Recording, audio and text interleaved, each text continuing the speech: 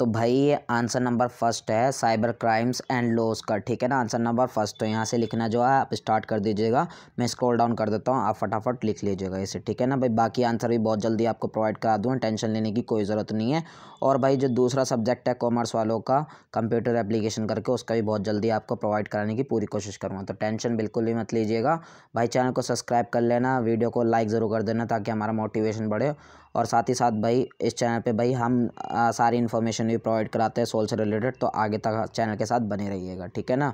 और साथ ही साथ भाई नोट्स वगैरह भी प्रोवाइड कराए जाते हैं। ये सब बातें मैं आपको इस वजह से इन्फॉर्म कर रहा हूँ ताकि आप आगे तक हमारे साथ चैनल के साथ जुड़े रहिए।